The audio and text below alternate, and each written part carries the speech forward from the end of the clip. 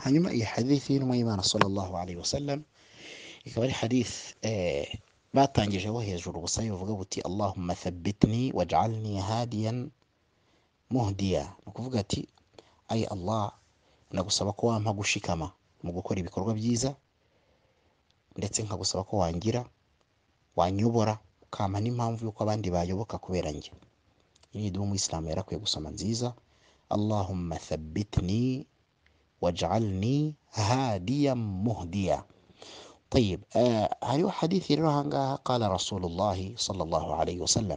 حديث يكرنا ابن ماجه وصححه الألباني رحمه الله. نتنا الشيخ الألباني يفزك الحديث إلى صحيح يكري أمين ما إيمان صلى الله عليه وسلم يفقتي المؤمن. mwemera mana nyakuri mwemera nyawe ahangaha ni nk'aho intumwa y'imana sallallahu alayhi wasallam igiye kutubwira mu biranga umwemera mana nyawe. Iravuga iti almumin umwemera nyawe man aminahu nnasu ala amwalihim. Ni wa wundi abantu bazajya bamwizera ku mitungo yabo. Ni wa wundi abantu iyo bahaye imitungo yabo bamwizera bakavuga bati uyu duhaye umutungo wacu turamwizeye.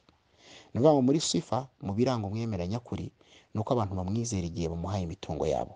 Wa anfusihim nabo ubwabo bakamwizera kuri bo. Gute? Urugero eh, waba uturanye n'umuntu waba uturanye n'umuntu w'umuyisilamu mugenzi wawe akaba akwizera yuko udashobora kumuca inyuma ngo ugiye kuba waryamana n'umugore we n'ibindi bigiye bitandukanye.